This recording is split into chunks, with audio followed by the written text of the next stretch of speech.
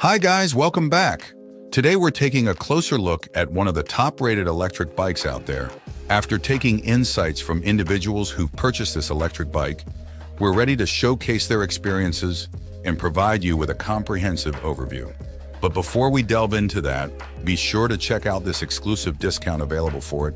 You will find it in the description in the first comment under this video. Now let's not waste any more time and jump right into the details.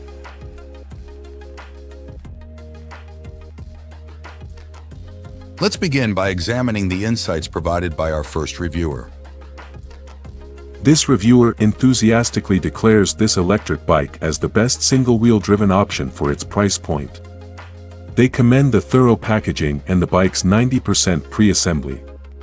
Charging the batteries was straightforward, and they confirm the manufacturer's claim of reaching 28 miles per hour on flat ground. They note the initial torque and the ability to adjust settings for higher speeds, though the motor produces some noise at full throttle.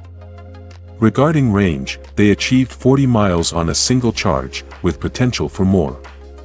The bike's unique design attracts attention, and its low gearing allows for pedaling alongside electric assistance.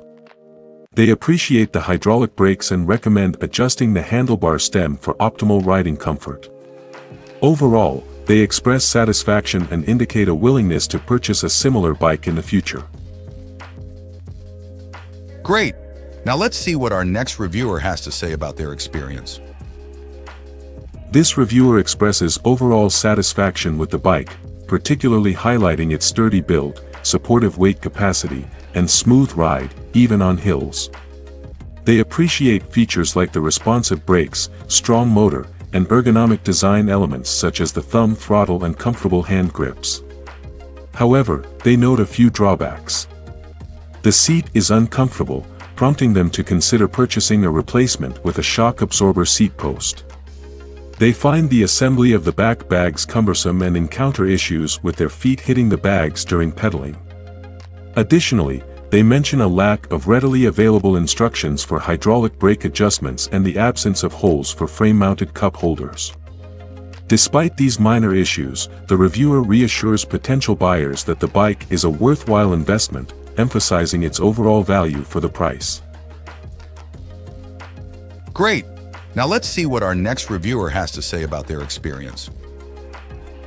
This reviewer highlights the quality of the electric bike but expresses frustration with the assembly instructions.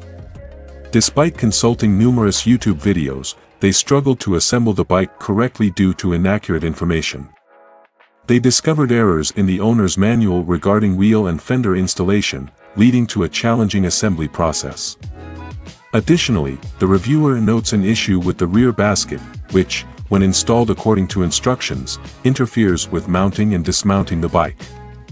However, they acknowledge the bike's overall quality and suggest that Fucare improve their assembly instructions and consider creating step-by-step -step instructional videos. Despite assembly challenges, they emphasize that the bike itself is excellent.